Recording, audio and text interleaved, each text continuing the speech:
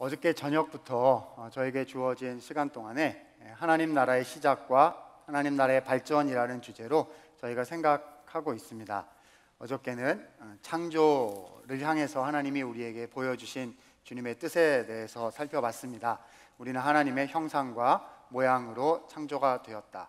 주님의 인격적인 성품을 닮았고 또한 주님의 대리 통치자로 하나님의 왕권을 이 땅에 실현시키기 위하여 어, 내가 우리가 창조되었다 말씀을 드렸어요. 그런데 그럼에도 불구하고 사람은 하나님께 불순종하고 타락을 했죠.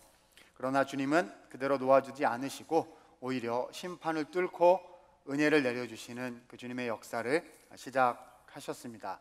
그래서 원시복음, 원복음을 주셔서 여자의 후손을 통해서 내가 너희를 다시 구원할 것이라 말씀해 주셨죠.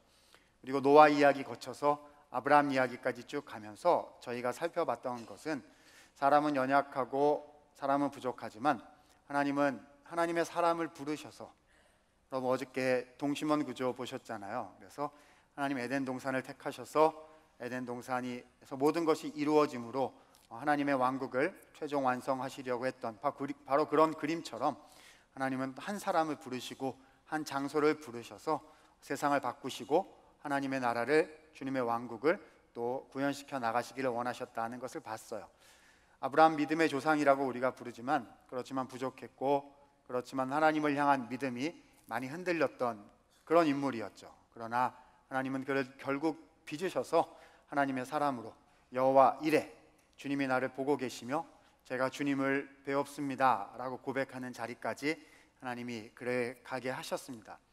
어제 여기까지 봤고 그것이 창세기의 중심 내용입니다.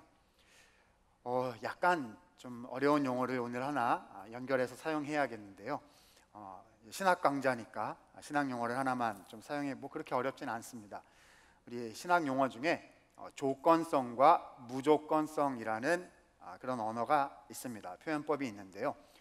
조건성이란 뭘 말하는 거냐면 조건이 걸려 있다는 거예요. 사람이 잘하면 하나님이 복 주시고 사람이 잘못하면 아, 벌 주신다. 그래서 사람한테 달려 있는 것처럼 뉘앙스가 흘러갈 때 그것을 조건성이다. 이렇게 얘기를 하고요. 그럼 무조건성은 조건이 없다는 거잖아요. 무슨 얘기냐 하면 누가 하신다는 거죠? 하나님이 하신다. 그렇죠? 하나님이 하시고 사람에게 조건을 걸지 않으셨다. 이렇게 얘기할 때 어, 무조건성이라는 말을 씁니다. 우리가 어저께 본 아브라함 언약은요 철저하게 무조건성이 강조된 언약이다 그런 말씀이다 약속이다 생각할 수 있습니다. 하지만 여기서 오해하시면 안 되는 게요 조건성과 무조건성이라는 두 가지 말이 서로 반대되는 말처럼 사용이 반대요 엔토님처럼 생각이 된다고 할지라도 그것이 명확하게 경계가 구분되어 쓰이는 말은 아니라는 사실을 기억해야 합니다. 여러분 아브라함이 하나님을 신뢰하지 못하고 또 순종하지 못했을 때 하나님이 그냥 놔두셨나요? 아니면 그를 빚으셔서 순종하게 하셨나요? 빚으셔서 순종하게 하셨죠. 하나님은 무조건성을 말씀하시는 아브라함 이야기 중에서도 결국 그를 빚으셔서 이제 신학적 용어로 얘기하자면 조건성이 충족되도록 만들어 가세요.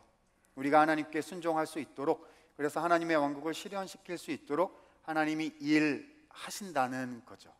그래서 무조건성과 조건성은 서로 이런저런 모양으로 연결이 돼 있습니다. 바로 이 이야기가 그러니까 우리가 보는 것은 하나님은 어떤 분이시고 그분이 어떻게 일하시기 때문에 내가 어떤 존재가 되었구나, 내가 어떤 존재가 될 것이구나. 주님이 우리의 가정과 교회와 나의 인생과 우리의 삶을 어떻게 사용하실 거구나. 이런 얘기가 구속 역사 중에 펼쳐지고 있는 거거든요. 바로 이런 부분이 오늘 출애굽기와 또 사무엘서에 어떻게 나타나고 있는지 계속해서 두 가지를 오늘 새벽에 보려고 하는 겁니다. 첫 번째는 출애굽기를 통해서 이제 모세 언약이라는 걸 볼 거예요. 모세에게 주신 언약, 그러니까 아브라함 언약을 받고 그다음에 오늘은 모세 언약. 그리고 좀 이따 뒷부분에는 다윗에게 주신 언약이다 그래서 다윗 언약. 두 가지 오늘 생각하면서 계속해서 하나님의 역사, 주님은 어떤 분이시고 우리는 어떤 존재인지 생각을 해 보려고 합니다. 자, 제가 오늘은 가능하면 지우지 않고 이렇게 한 바닥에 다 쓸 수 있으면 좋겠는데요. 자, 출애굽기가 전체 몇 장으로 구성되어 있는지 아시죠? 네, 어제보다는 별로 좋아하시지 않을 거예요.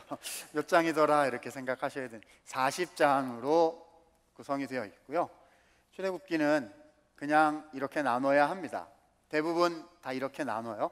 1장부터 18장까지, 그다음에 19장부터 40장까지 두 부분으로 나누어집니다. 우리들이 가장 잘 알고 있는 보다 더 잘 알고 있는 부분은 물론 앞부분이죠. 여기에 출애굽 사건이 나옵니다. 주님이 모세를 보내셔서 열 가지 재앙을 통해서 그래서 마지막에 열 번째 재앙 장자 재앙 때 이스라엘을 건져내시고 홍해 바다를 건너게 하시고 만나와 메추라기를 먹게 하시고 18장 가면 천부장 백부장까지 행정 제도까지 정비하게 하셨다. 우리가 익히 잘 알고 있는 그런 이야기들이 앞부분에 나와요. 그런데 19장부터 이 뒷부분에 보면 잘 모르겠는 이야기들이 좀 많이 나옵니다. 여기부터는 약간 성경 통독의 속도가 주춤하는 부분이기도 합니다. 그런데 사실은 여기가 훨씬 더 중요하죠. 왜냐하면 여기에 모세 언약이 드디어 나타나기 때문입니다. 특별히 이 부분에 나타난 언약, 모세 언약인데 그 중에 이 부분을 뭐라고 우리가 부르냐 하면요. 신의 산 언약이라고 부릅니다. 자, 한번 따라해 주실까요? 신의 산 언약. 왜 신의 산 언약이라고 부르냐 하면 바로 신의 산이라는 장소에서 하나님께로부터 언약을 받았다는 것입니다. 이 신의 산 언약, 모세 언약은 그러니까요. 그냥 혼자 있는 게 아니고 발전에 내려오는 중이에요.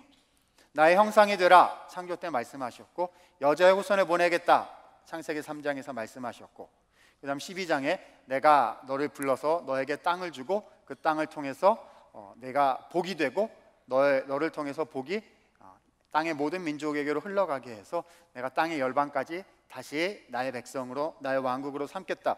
계속 이어져 내려오는 그 이야기가 지금 출애굽기에 와서 신의 산 언약으로 발전하고 있다는 겁니다. 우리가 어저께 아브라함 언약을 봤었는데요. 이 아브라함 언약은 철저히 개인 언약이에요. 한 가족 개인에게 주신 개인 언약이고 좀 전에 말씀드린 것처럼 무조건성이 매우 강조되어 있는 언약입니다. 아브라함은 내가 네가 네가 뭐 하면 내 백성이 될 거다 이렇게 말씀하지 않으셨고 그냥 내가 너를 불렀고 복의 통로가 되게 하겠다. 하나님 일방적으로 약속하시고 일을 해 나가셨어요. 그런데 이제 우리가 보려고 하는 신의 선 언약은 좀 더 발전된 형태가 됩니다. 이거는 공동체 언약입니다. 이스라엘 공동체에게 주신 언약이에요.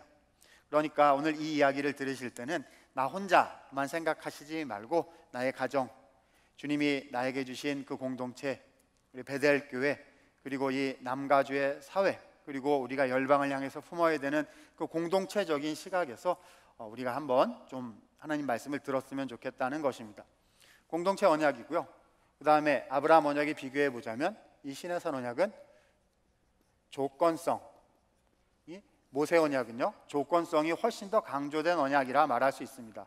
무슨 얘기냐면 너네가 잘해야 된다라고 말씀하시는 언약이에요. 너네가 잘하면 복을 줄 것이고 너네가 잘못하면 내가 너에게 벌을 줄 것이다. 이런 뉘앙스가 계속 많이 흘러나오는 그런 부분이 출애굽기부터 시작돼서 신명기까지 가는 이 모세 언약이다라는 겁니다. 그러면 뭐 할 말은 많지만요.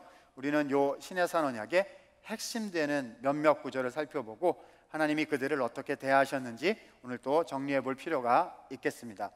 출애굽기 19장 말씀을 한번 보도록 하시죠. 출애굽기 19장 5절과 6절 말씀입니다. 네, 별표를 하셔도 되고 무궁화를 하셔도 되고 3만 개 정도 하시면 되겠죠. 네, 제 말투입니다. 어저께 저녁부터 했는데요. 이해해 주시고요. 자, 5절 6절 말씀 우리 같이 한번 또박또박 자, 힘을 좀 주셔 가지고요. 새벽이지만 하나님 말씀 힘내셔서 5절 6절 같이 읽도록 하십니다. 시작. 세계가 다 내게 속하였나니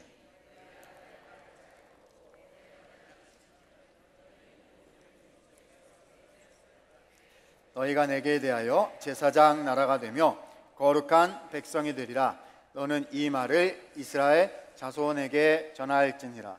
자, 우리는 지금 무엇을 다루고 있죠? 신의 산 언약이라는 공동체 언약을 다루고 있습니다.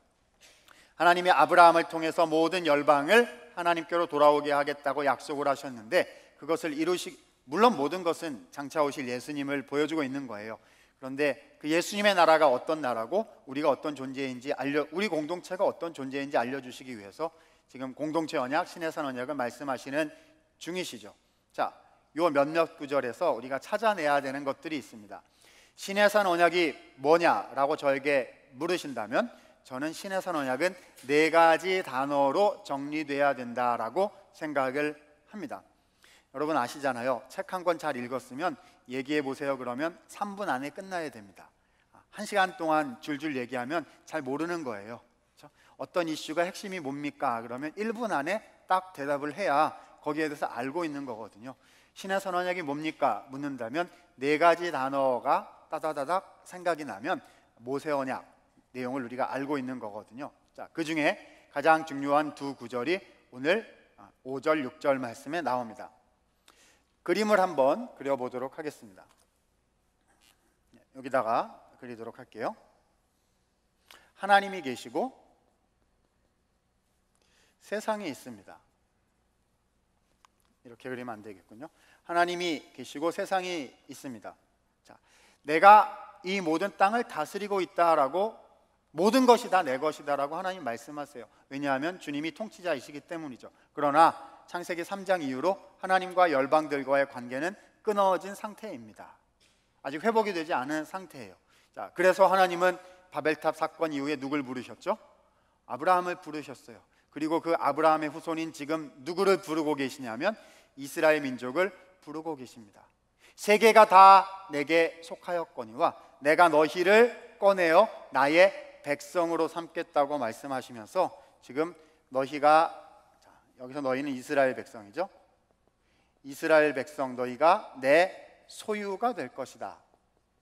하나님의 소유가 될 것이다. 세굴라라는 말인데요. 특별한 소유다. 이렇게 우리가 번역을 할 수가 있을 겁니다. treasured possession 이렇게 영어로 번역을 할 수가 있겠죠. 특별한 소유. 자, 옆에 분들하고 한번 인사하겠습니다. 당신은 주님의 특별한 소유입니다. 이렇게 한번 인사하시죠. 네, 너무 너무 좋죠. 이 저녁 같이 시간이라도 좀 많으면 일어나서 찬양도 하면서 돌아다니면서 다섯 분한테 얘기하세요.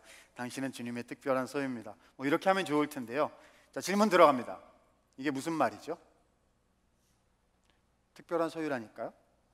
당신은 특별한 존재입니다. 이런 말이잖아요. 질문 다시요. 특별하다는 말이 무슨 말이죠? 음, 답은 본문에서 찾아야 됩니다. 하나님의 특별한 소유가 된 결과 어떤 존재가 되느냐 6절에 이렇게 설명을 하고 계십니다. 두 가지 단어가 나오죠. 무슨 단어가 나오죠? 제사장 나라 거룩한 백성. 자, 편의상 거룩한 백성을 먼저 쓰겠습니다. 거룩한 백성과 제사장 나라. 모세 언약이 뭡니까? 신해산 언약이 뭡니까? 묻는다면 맨 처음에 생각나야 할 단어는 거룩한 나라, 그다음에 아, 거룩한 백성, 제사장 나라라는 표현입니다. 이 표현이 생각나야 모세 언약이 무엇인지 이해하고 있는 거죠. 자, 첫 번째, 거룩한 백성입니다. 여러분, 거룩이 뭐죠? 거룩은 분위기가 아니죠. 와, 저기 가니까 되게 거룩한 분위기. 거룩은 분위기가 아닙니다. 거룩은 구별이라는 뜻을 가지고 있죠. 누구에게로 구별된 것을 거룩이라고 부릅니까? 하나님께 구별된 것을 거룩. 거룩은 원래 하나님께만 쓸 수 있는 말이거든요. 하나님이 거룩하신 분이시죠. 우리는 거룩하지 않아요. 그런데 우리를 저 밑에서 꺼내어서 거룩한 백성이 되게 하셨다는 것은 누구에게로 구별되었다는 것이죠? 하나님께로 구별되었다는 거니까 from의 의미도 있지만 to, toward의 의미도 있는 거겠죠. 거룩한 백성은 하나님께 속했다. 위를 향한 방향성을 뜻하는 말입니다. 더 이상 세상에 속하지 않았고 이제는 하나님께로 속했다는 거예요. 우리 한국 교회 성도님들 또 우리 한인 교회 성도님들께서 아, 내가 예수 믿으면 이제 세상과 같이 갈 수 없다라는 것 잘 알고 계세요. 노래도 있어요. 주님 뜻대로 살기로 했네. 그다음 어떻게 되죠? 뒤돌아서지 않겠네. 그래서 아, 예수 믿으면 세상과 끊고 세상 방식 끊고 다 허물고 새로 짓고 생각도 세계관도 새로 짓는 것이다. 우리 그렇게 생각하고 있습니다. 거룩한 백성 되어야 된다. 우리가 잘 인식하고 있어요. 그런데 그 다음에 나오는 두 번째 제사장 나라는 물론 잘 해온 분들이 많이 계시고 또 우리 베델교회는 잘 해오셨으리라 생각합니다만은 그러나 전반적으로 봤을 때 거룩한 백성만큼 제사장 나라를 잘 해온 것 같지는 않습니다. 무슨 뜻인지 한번 보죠. 제사장 나라라고 되어 있습니다. 특이한 표현이죠. 원래 원래는 우리가 어떤 표현 잘 알고 있냐면 제사장이라는 개인에 해당되는 말은 잘 알고 있어요. 근데 거기 뭐가 붙었어요? 나라라는 말이 붙었단 말입니다. 이게 무슨 뜻일까요? 여러분 제사장이 하는 일들이 여러 가지 일들이 많이 있는데 그걸 그냥 줄여서 한마디로 얘기를 하자면요. 헬퍼요, 헬퍼. 그렇죠? 죄인들이 하나님과 화목해질 수 있도록 제사 드릴 수 있도록 도와주고 또 율법의 말씀을 가르쳐 주고 하는 사람을 뭐라고 불러요? 제사장. 그렇죠? 죄인과 죄인이 하나님께 올 수 있도록 회개하고 주님의 백성이 될 수 있도록 옆에서 도와주는 사람을 제사장이라고 우리가 부르지 않습니까? 개인 제사장요. 그런데 그 제사장이라는 말에 뭐가 붙었어요? 나라라는 말이 붙었다는 겁니다. 누굴 얘기하는 거죠? 이스라엘 백성요. 그러면 이스라엘 백성이 제사장 나라가 된다는 것은 누군가를 도와서 하나님께로 돌아올 수 있도록 만든다는 것인데 누굴 도와준다는 걸까요? 그러면 세상 그렇죠? 이 세상을 아브라함 언약에서는 땅의 모든 민족이라고 불렀죠. 그렇죠? 복의 통로가 될 것이다라고 하나님이 말씀하셨는데 그 복의 통로라는 말이 이 신해산 언약에 와서는 거룩한 백성 제사장 나라라는 말로 발전하고 있는 것이죠. 따라서 제사장 나라는요 세상을 향한 방향성을 말하는 거예요. 아, 세상대로 살라는 얘기가 아니고요. 물론 하나님을 향한 방향성인데 세상에게로 가서 그 사람들을 데리고 하나님께로 가야 한다라는 정체성을 보여주는 것을 제사장 나라라고 말한다는 말입니다. 이것이 언약 백성의 정체성이에요. 항상 균형이 잡혀 있어야 합니다. 위를 향한 방향성과 그 다음에 아래를 향한 방향성. 요즘 말로 하자면 교회 안을 향한 방향성과 세상을 향한 방향성이 함께 항상 균형 있게 공존하고 있어야 하나님의 건강한 나라로 일을 하고 주님의 통치를 실현시켜 나갈 수 있다는 거죠. 거룩한 백성 제사장 나라입니다. 자, 그러면 좀 더 질문해 볼게요. 좋아요. 이렇게 거룩한 백성 제사장 나라로 살아가야 되는데 그러면 어떻게 해야 그렇게 살 수 있을까요? 와, 나는 거룩한 백성 제사장 나라가 됐어요. 그러면 열심히 사세요. 이렇게 얘기하면 잘 될까요? 잘 안 될 거예요. 어떻게 살아야 하는지 구체적으로 보여주시기 위해서 하나님은 이스라엘 백성들에게 두 가지를 더 주십니다. 그래서 신의 산 언약이라 그러면 두 가지가 더 나와요. 첫 번째는 율법을 주셨고 그 다음에는 성막을 주셨다 이렇게 되어 있습니다. 출애굽기 전체 흐름을 보시면 20장에 뭐가 나오냐면 10계명이 나오고요. 그다음 23장까지 기타 율법들이 쭉 설명이 되는 장면이 나옵니다. 그리고 25장부터 40장까지는 성막을 건설하는 이야기가 계속 따라 나오게 돼요. 율법이 뭡니까? 이렇게 이렇게 이렇게 살아야 된다는 하나님의 원리잖아요. 열 가지 원리, 십계명의 원리를 우리에게 주셨죠. 왜 주셨을까요? 십계명 잘 지켜서 구원 받으세요. 이렇게 주신 걸까요? 구약 시대에는 율법을 지켜서 구원을 받는 걸까요? 그렇지 않죠. 하나님의 구원의 방식은 단 한 번도 변한 적이 없어요. 하나님이 한 번 바꾸신 적이 있으면 좀 이따가 또 바꿀지 누가 알겠어요. 저 불안해서 어떻게 살겠어? 어떻게 믿겠어? 아니요. 하나님은 우리가 믿을 수 있는 분이시거든요. 한번 정하신 구원의 방식은 결코 변경하지 않으시는 분이시죠. 신실하신 분이시거든요. 처음부터 구약 때부터 약속을 믿음으로 구원을 얻는 것이거든요. 율법은 요거 지켜서 구원받으라고 주신 게 아니고요. 구원받은 백성은 이렇게 산다. 라는 것을 보여주시기 위해서 원리로 제시해 주신 거예요. 하나님 사랑하고 이웃을 사랑하라는 열 가지 계명을 주신 거죠. 왜요? 뭘로 살아야 되니까요? 거룩한 백성으로 살아야 되고 제사장 나라로 살아서 하나님의 백성이 어떻게 사는지 주님의 왕국이 어떤 것인지 온 세상에 다 보여주어서 누구도 돌아오도록 땅의 모든 민족? 온 세상 역시 하나님께로 돌아올 수 있도록 하기 위해서 주님이 삶의 원리로 무엇을 주셨다는 겁니까? 율법, 율법을 주셨다는 거예요. 그리고 성막도 함께 주셨죠. 성막은 하나님의 임재예요. 주님이 친히 내려오셨. 바벨탑처럼 이렇게 쌓아 올라가는 게 아니에요. 내가 주님께로 아니요 그게 아니요. 주님이 우리에게로 내려오셔서 함께 거하시고 혹시라도 율법대로 살지 못했을 때에 제사 시스템을 통해서 주님 앞에 삶을 다시금 회복하고 정결케 될 수 있도록 하나님은 모든 대비책까지 다 마련해 놓으셨다는 겁니다. 네 가지 단어예요. 거룩한 백성, 제사장 나라라는 정체성을 주셨고 그 정체성대로 살아갈 수 있도록 뭘 주셨다는 거죠? 율법을 주시고 그 다음에 성막을 주셨다는 겁니다. 어떻게 됐을까요? 이 백성들이 그렇게 잘 살아냈을까요? 안타깝게도 그렇게 살지를 못했어요. 제가 시간상 짧게만 말씀을 드리면요. 중간에 32장부터 34장까지 금송아지 사건이라는 게 나옵니다. 모세가 산에 올라가 있는 동안에 백성들이 금송아지를 만들고 숭배한 사건이죠.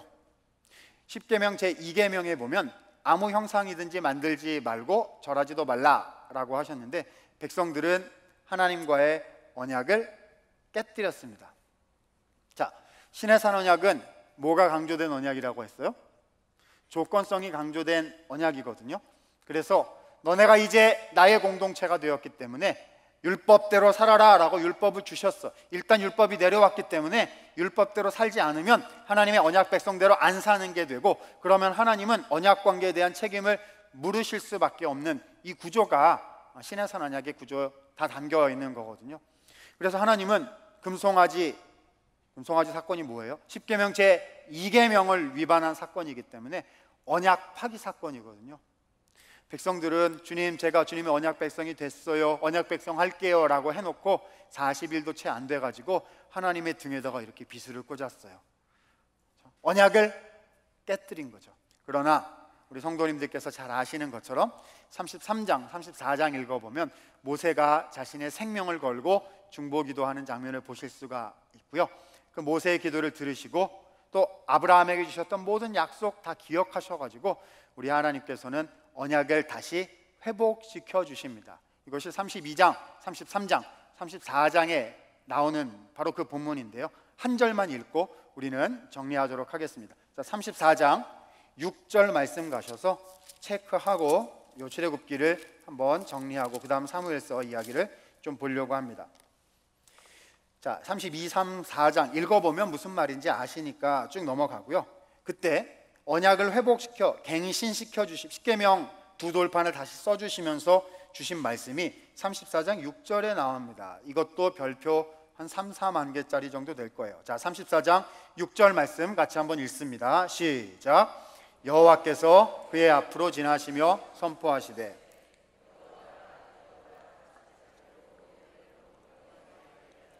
인자와 진실이 많은 하나님이라. 이 구절이 나중에 구약 성경에 참 많이 후대에 인용되고 다시 재해석되는 그런 구절인데요. 여호와라 여호와라 그렇죠? 하나님은 자비로운 분이시다. 이렇게 쭉 노하기를 더디하는 분이다. 설명한 다음에 맨 끝에 인자와 진실이 많은 하나님이다. 자, 그 인자에다가 이렇게 동그라미. 그게 별표 3만 개짜리가 되겠습니다. 히브리어로 헤세드라는 말입니다. 뭐라고 써 두시냐면 언약의 성실하심. 언약적 성실성이다. 이렇게 써 두시면 되겠습니다. 인자라는 말은요. 하나님이 성격이 좋으시다라는 말이 아니에요. 우리는 인자하신 분이다 그러면 이지한 그러니까 우리가 좀 대충 들이받고 좀 막 해도 허허허허 하고 받아주는 사람을 생각하는데 아니요 그런 거 아닙니다. 인자란 뭐냐 하면 한 번 약속한 것은 반드시 지키신다. 라는 말이 인자 라는 말의 뜻입니다. 하나님은 우리를 주님의 백성으로 부르셨기 때문에 놓으세요, 안 놓으세요? 놓지 않으신다고요. 하나님은 이스라엘 백성 공동체를 하나님의 백성으로 불렀어요. 그래서 거룩한 백성 제사장 나라로 살라고 말씀을 하셨고 너희를 통해서 내가 일하겠다고 약속을 하셨어요. 근데 이 백성들이 주님을 바로 버렸다는 겁니다. 사람의 죄성이 공동체의 한계가 나오는 거죠. 그러나 하나님은 그들을 버리지 않으셨어요. 기도를 들으시고 모세의 기도를 들으시고 오히려 어떻게 하셨죠? 그들을 회복시키시고 언약을 갱신시켜 주시고 끝끝내 출애굽기 40장까지 읽어 보면 성막을 건설하고야 마셨습니다. 인자하신 하나님이란 어떤 하나님이냐 하면은요. 거기 한 줄만 적어 놓고 가겠습니다. 옆에다가 적으세요. 네, 저의 표현법인데요. 인자하신 하나님의 인자하심이란 요 출애굽기에서 어떤 뜻이냐면 희생을 감수하시면서까지 희생을 감수하시면서까지 언약을 반드시 성취하시는 언약을 반드시 성취하시는 하나님의 성실하심 하나님의 성실하심 여러분 앞에를 한번 보시죠 하나님은 공동체 언약 신의 산 언약을 만드시고 거룩한 백성 제사장 나라 되게 하시고 율법과 성막을 주셔서 내가 너를 통하여 나의 왕국을 구현하겠다 이렇게 말씀을 하셨어요. 그렇죠? 조건성이거든요. 너네가 율법을 지켜라. 너네가 말씀대로 살아라. 그러면 너희를 통해서 나의 뜻을 펼치겠다 하셨는데 안 됐다고요. 백성은 사람은 계속 계속 실패해요. 그런데 하나님이 버렸습니까? 안 버렸습니까?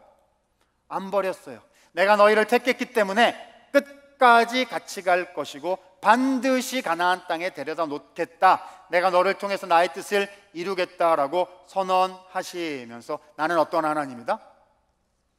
인자한 하나님이다라고 말씀하셨다는 것입니다. 맞습니다. 모세 언약은 조건성이 강조된 언약 맞습니다. 그러나 이 조건성을 궁극적으로 충족시켜 주시는 분은 누구시냐 하면 하나님이세요. 무조건성이 다시 한번 등장하는 거죠. 신의 산 언약은 뭐가 강조된 언약입니까? 그러면 조건성이 강조된 언약입니다. 이렇게 말해야 맞습니다. 이게 전체 흐름이에요. 그러나 그 가운데서도 일하시는 분은 누구시죠? 하나님이세요. 그럼 조건성은 왜 묻는 거죠? 약속이 깊어졌거든요. 하나님의 은혜를 알았거든요. 부르심을 받았거든요. 홍해를 건넜거든요. 그렇죠? 성막의 약속을 받고 성막이 지어져 가는 것을 지금 보고 있거든요. 그러니까 백성답게 살라는 거죠. 그러나 사람이 연약하여 실패할 때 하나님은 버린다 안 버린다? 버리지 않으시고 내가 왕으로 통치해 나가며 너희를 빚어 나가겠다라고 말씀하고 계시는 거예요. 공동체 언약 신의 산에서 주신 언약의 말씀이 바로 이러합니다. 이 이야기가 어디까지 연결되느냐? 사실은 신명기까지 연결되는 큰 하나의 맥락이 되겠습니다. 오늘 아침에 첫 번째로 이제 드릴 말씀이 이 부분이고요. 두 번째 이야기로 저에게 주신 시간 동안 한 20분 좀 안 남았는데 사무엘서 이야기를 조금 더 하고 한번 연결을 시켜 보도록 하겠습니다. 자, 우리가 모세 언약을 봤고요. 그 다음에는 뭘 봐야 되냐면 다윗 언약을 봐야 됩니다. 자, 또 그림을 그려야 되는데 이제는 이제 몇 장이냐고 물으면 이제 더 싫어하실 수도 있는데요. 네, 우리 배색교회 성도님들은 잘 아시리라 생각합니다. 사무엘서가 몇 장까지 있죠? 사무엘서는 상하로 나뉘어집니다. 사무엘상은 1장부터 몇 장까지 있죠? 네, 31장까지 있고요. 사무엘하는 1장부터 24장까지 있습니다. 상하 원래는 그렇게 나누는 게 아니고 원래는 하나의 책이기 때문에 55장이라는 분량이 나오게 됩니다.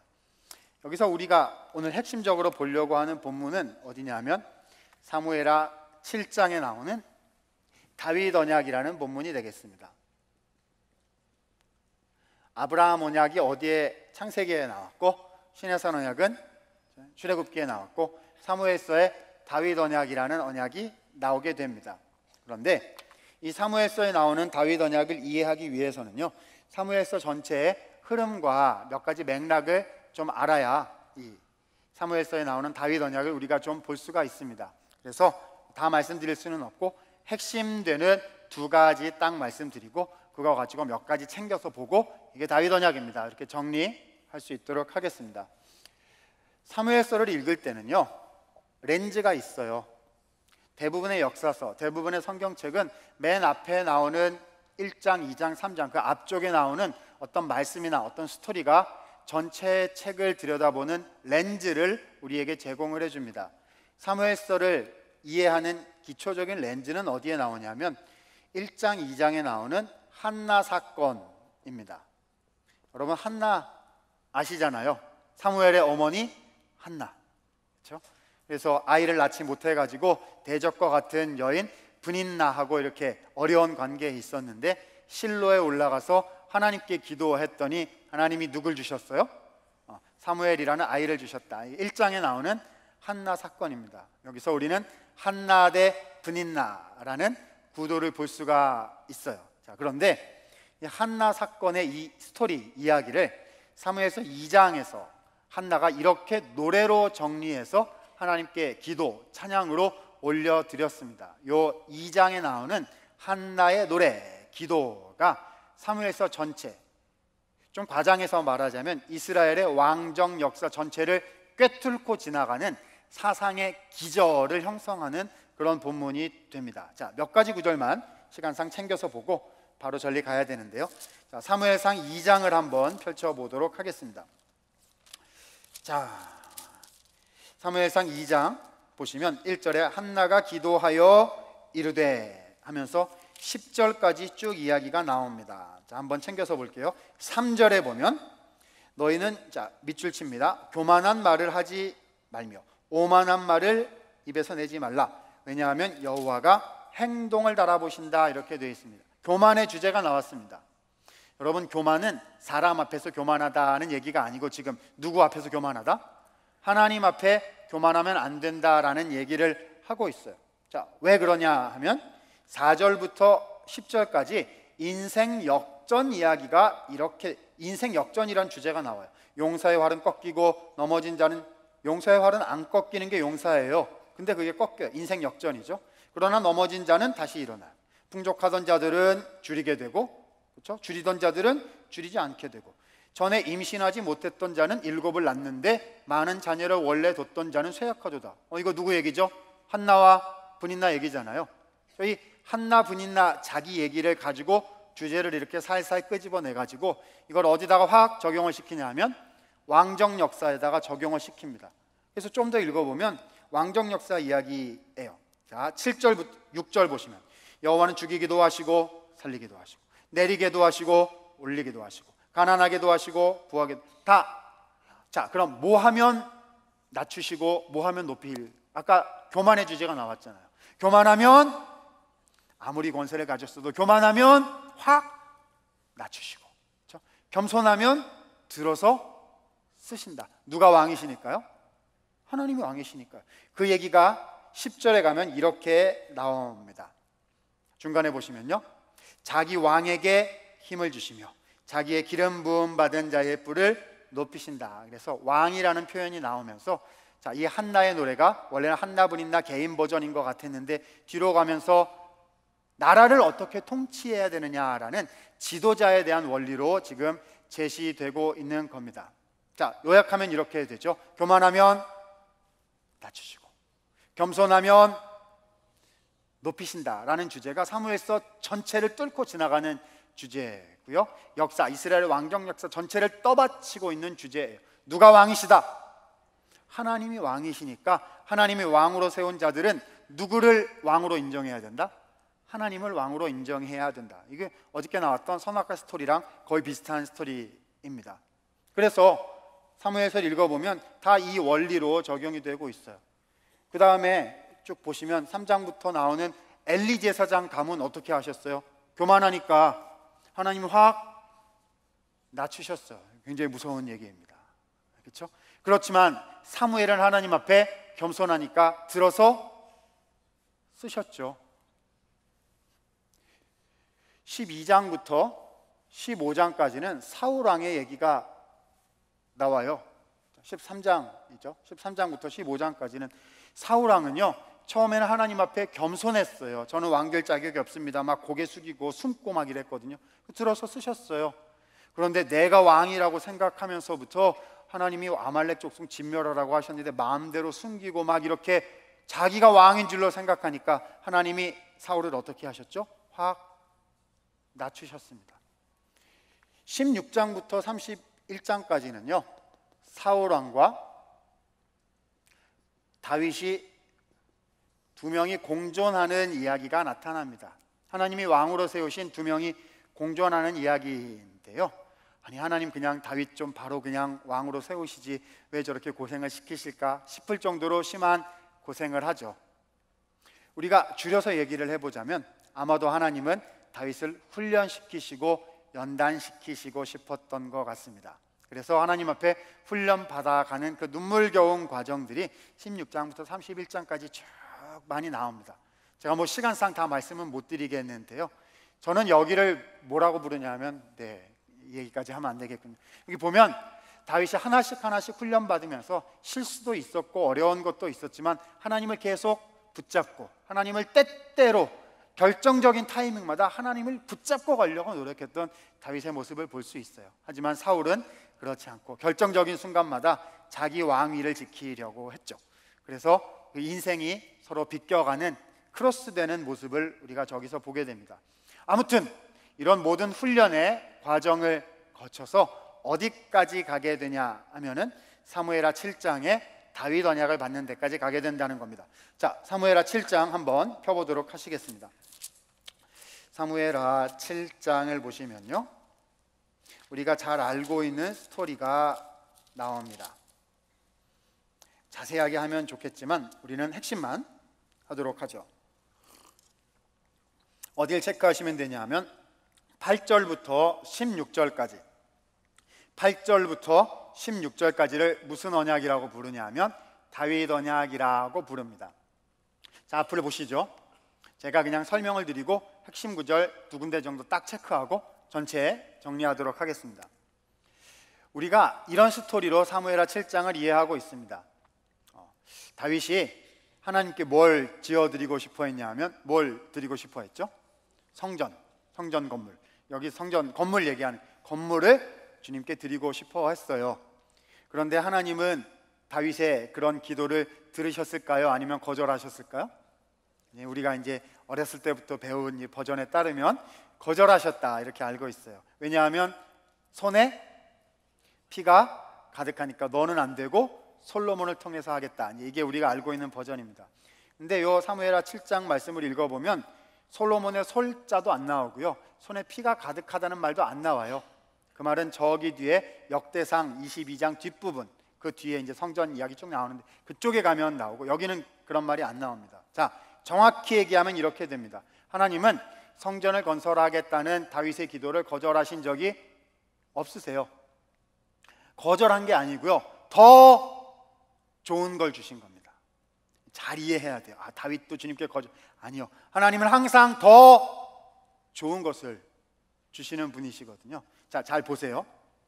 다윗이 딱 보니까 자기는 백향목 궁궐에 살고 있는데 하나님의 법궤는 텐트, 장막에 있는 거예요. 너무 죄송하니까 주님께 뭘 지어 드리겠습니다? 성전을 지어 드리겠습니다. 이렇게 얘기를 했는데 우리말로 성전이라고 번역이 되어 있지만 원어에 보면 전부 다 집이라는 단어입니다. 이 בית라는 단어고요. 그래서 영어 성경에는 아마 하우스라는 번역들 보실 수가 있을 뭐 템플이라고 되어 있을 수도 있겠지만 원어에 보면 다 집이라는 얘기입니다. 자, 제가 주님께 집을 지어 드리겠습니다. 이렇게 얘기를 했거든요. 이때 집은 무슨 개념이냐 하면 건물 개념이에요. 건물 짓겠다는 얘기거든요. 법계 모실 건물 져 드릴게요. 주님 들어가서 잘 계세요. 이런 이런 얘기거든요. 근데 하나님이 생각하실 때는 지금 건물 얘기할 타임, 물론 이 건물 포함되는 개념인데 지금 그 정도 레벨의 이야기가 아니고 더 큰 일을 행하겠다. 이, 이 다윗 언약. 그래서 뭐라고 말씀하셨냐면, 야 다윗아, 지금 네가 나를 위해서 집 지을 타이밍이 아니고 내가 너를 위해서 집을 지어 주겠다. 다윗 언약은 하나님이 다윗에게 집을 주신 얘기예요. 어머나, 이게 무슨 말이죠? 다윗은 집이 있어요. 백향목 궁궐이 있다니까요. 별장 지어 주신다는 얘기일까요? 아니요. 그런 얘기 아닙니다. 여기서 집 개념은요. 철저하게 왕국 개념입니다. 나라 개념인 거예요. 하나님은 다윗에게 뭘 주겠다고 말씀하셨냐면 내가 너에게 나라를 주고 가문을 주어 그 가문의 후손을 통하여 나의 나라를 건설하게 하겠다. 자, 옆에다가 하나만 적어 놓으시기 바랍니다. 다윗 언약의 핵심은 뭐냐면 다윗의 집을 통하여 하나님의 집을 건설한다. 한 줄 딱 쓰면 이게 다윗 언약입니다. 다윗의 집을 통하여 하나님의 집을 건축하겠다. 이때 집 개념은 건물 개념이 전부 달까요? 아니면 킹덤 개념, 왕국, 나라 개념일까요? 나라 개념 얘기하고 있는 거예요. 사울은 교만하니까 어떻게 됐어요? 하나님이 한 번에 날리셨어요. 그런데 다윗은 이제 뭘 주시겠다고요? 후손의 후손의 후손의 후손이 계속해서 왕이 되는 뭘 주시겠다? 왕국을 나라를 주시겠다라고 말씀하신 겁니다. 자, 핵심 되는 구절 보도록 하겠습니다. 쭉 내려가셔서 사무엘하 7장에 쭉 내려가셔서 12절 보시죠. 너의 후환이 수완이 차서 너가 조상과 함께 너가 죽을 때에 자 밑줄 갑니다. 너의 몸에서 날 너의 씨 씨에다가 네모꽝 하시면 되겠어요. 자, 이 씨가 후손이라는 단어이고 바로 창세기 15장에 나온 여자의 후손 할 때 나온 바로 그 단어가 되겠습니다. 다윗에게서 씨가 나오게 된다는 거죠. 그래서 그의 나라를 경고하게 하리라. 다윗의 나라를 경고하게 한다는 거예요. 다윗 언약은 씨 후손이 와서 다윗의 집을 건축한다는 겁니다. 그런데 이게 다가 아니에요. 그 다음 구절에 보시면 13절에 자, 그는 그 자신의 나라만 경고하게 할 뿐만 아니라 자 13절 나의 이름을 위하여 밑줄 쫙 갑니다. 집을 건축할 것이다. 이 씨는 하나님의 집을 건축합니다. 이때 집 개념 역시 나라 개념, 왕국 개념이 되겠죠. 그 다음에 보시면요. 13절, 14절, 15절에요. 이 약속은 반드시 성취된다. 는 말이 따라 나옵니다. 자, 13, 14절, 13절 끝에 보니까 내가 그의 나라의 왕위를 밑줄 갑니다. 영원히 경고하게 한다. 14절 보시면 자, 밑줄만 갑니다. 나는 그에게 아버지가 되고 그는 내게 아들이 된다. 아버지 아들 관계가 되기 때문에 결코 버리지 않는다. 그가 만일 죄를 범하면 내가 징계는 할지 몰라도 버리지는 않는다. 얘가 15절에 나옵니다.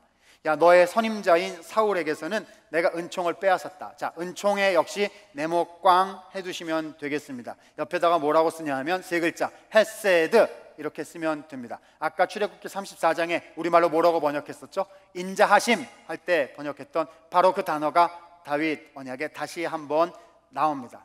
이렇게 되는 거죠. 사울은 잘못하니까 어떻게 됐어요? 교만하니까 하나님을 확 낮추셨어요. 그렇죠? 이게 이스라엘 역사를 꿰뚫고 지나가는 하나님의 원리거든요. 이것을 우리가 조건성의 원리라고 이야기할 수 있을 겁니다. 사람에게 달려 있어요. 교만하면 하나님 낮추실 거예요. 엘리를 보세요. 사울을 보세요. 하나님의 왕권을 인정하지 않으면 쳐내는 것이 하나님의 방식이에요. 왜냐하면 주님은 거룩하신 왕이시니까요. 그런데 사무엘서는 여기서 끝나지 않고 어디까지 가냐 하면 반드시 성취한다는 거예요. 너의 앞선 사울은 잘못하니까 내가 은총을 버렸다. 그에게서 은총을 뺏었어. 나의 인자를 그에게서 거두었다. 그러나 지금부터는 결코 그렇지 아니하다. 너의 후손에게는 내가 이 약속을 주는 것인데 너의 후손에게서는 내가 결코 이 약속을 거두지 이 은총을 이 인자를 거두지 않겠다. 다윗 언약은 다시금 무조건성이 등장하는 언약, 언약입니다. 사무엘서 전체는요, 그러니까 조건성으로 사람이 잘해야 된다는 흐름으로 쫙 흘러가요. 맞죠? 주님 앞에 교만하면 하나님 낮추시는 분이세요. 그러나 하나님의 약속 안으로 들어오는 공동체의 지도자, 교회의 지도자고 가정의 지도자고 주일학교의 지도자이시고 나에게 주신 그런 삶의 터전에서 어떤 종류의 리더십을 그리스도인의 리더십을 가지고 살아가려 하는 공공 동동체의 지도자들에게 하나님 앞에 겸손해야 된다고 말씀하시면서 동시에 그러나 다윗의 후손을 통하여 우리에게 또한 주시는 약속은 내가 나의 은총을 너로부터 결코 거두지 않을 것이다. 그렇죠? 내가 너를 통하여 나의 왕국을 건설하고야 말 것이다. 다윗의 후손 누굽니까? 예수 그리스도이고요. 그 예수 그리스도로 인하여 하나님께 회복된 공동체예요. 공동체 언약 중에 또 주신 공동체의 지도자에게 주신 다윗 언약이기 때문이죠. 하나만 얘기하고 마치도록 하겠습니다. 이후에 10장부터 24장까지 사무에서 뒷부분을 읽어 보시면요. 하나님하고 다윗하고의 관계가 그림처럼 묘사되어 있는데요. 이거 굉장히 재밌어요. 여러분, 다윗 버린다 그랬습니까? 안 버린다 그랬습니까? 네. 안 버린다 그랬잖아요. 그러면 저 사건 이후에 사무엘서의 관전 포인트는 뭐냐면 다윗이 잘못할 때 하나님은 버릴까 안 버릴까 사윗 사울을 쳤던 것처럼 쳐낼까 안 쳐낼까거든요. 그 다음에 바로 따로 나오는 사건이요. 10장, 11장, 12장 넘어가면 바세바 사건이 나오거든요. 사울은 좀 살리고 죽일 거 살리고 이래 가지고 하나님이 쳐가지고 이렇게 했는데 다윗은 좀 간음했죠. 살인을 했죠. 거짓을 했죠. 아니 이건 쳐내야 되는 거잖아요. 그런데 하나님은 다윗을 버리지 않으셨어요. 그렇죠? 확 버려야 되는데 나단을 보내 가지고 너가 잘못했으니까 회개하라. 말씀을 하셨고요. 다윗이 그때 엎드려서 주님 앞에 회개하고 돌아옵니다. 아들이 죽잖아요. 그렇죠? 그거 보고 하나님 너무했다. 우리 그렇게 생각할 수도 있는데 아니요 그런 게 아니에요. 다윗이 죽어야 되는 거거든요. 바세바도 죽고 그 아들도 죽고 다 죽어야 되는 것인데 하나님 누군 살려줬어요? 다윗하고 바세바는 살려주셨단 말이죠. 그러니까 그 아들이 죽은 이후에 금식하다가 아들이 죽은 이후에 일어나서 음식을 먹고 일을 한 거예요. 다윗이 어떤 아버지가 미쳤다고 아들이 죽었는데 일어나서 일을 하겠어요. 그게 그게 아닌 거거든요. 다윗은 알고 있는 거예요. 아, 하나님이 나를 붙잡고 가려고 지금 약속을 했기 때문에 붙잡고 가려고 하나님이 최대한 노력하고 계시는 거구나 아니까 울면서 막 일어나는 거죠. 그리고 그 다음 아들인 솔로몬이 다윗과 바세바 사이에서 나오게 됐을 때 나단 선지자가 와가지고 또 이제 축복하면서 여디디야 하면 주님이 사랑하신다 이렇게 말씀하시는 그 모든 이유가 무엇을 받았기 때문이라고요? 언약을 받았기 때문이라고. 나머지 이야기는 이런 거죠. 하나님이 나에게 언약을 주셨다는 걸 알기 때문에 주님이 나를 버리시지 않고 하나님이 가장 선하게 일하시고 계시다는 것을 알기 때문에 나도 하나님에 대한 신뢰, 하나님에 대한 믿음을 버릴 수가 없는 것. 다윗의 후손 예수 그리스도를 통하여 아브라함 언약, 모세 언약, 다윗 언약, 구약의 모든 언약은 누구에게 주어진 것이죠? 우리에게 동시에 함께 예수님 안에서 우리에게 주어진 것입니다. 나는 아브라함 언약 약속을 받은 성도고요. 우리 공동체는 우리 교회는 그렇죠? 우리 우리 하나님 그리스도인들의 그렇죠? 이 주님의 신약 교회는요. 어, 신의 선언약을 또 하나님으로부터 부여받은 그런 공동체인 것이고요. 그리고 우리 한 사람 한 사람은 하나님이 나에게 맡겨 주신 그 자리에서 다윗 언약이라는 약속을 받은 그런 존재들인 것입니다. 하나님은 우리를 통해서 약속을 반드시 이루실 것입니다. 그러면 어떻게 살아야 할까요? 약속을 이루실 것처럼 살아야 돼요. 울지 말고 울더라도 약속을 붙잡고 일어나고 제사장 나라 거룩한 백성 하나님이 나에게 인자하심을 베푸시는 그런 주님의 백성인 것으로 생각하고 살아가셔서 하나님의 멋진 나라를 주님의 통치를 우리 모두의 삶 속에서 구현하실 수 있는 성도님들 다 되시기를 간절히 소원합니다.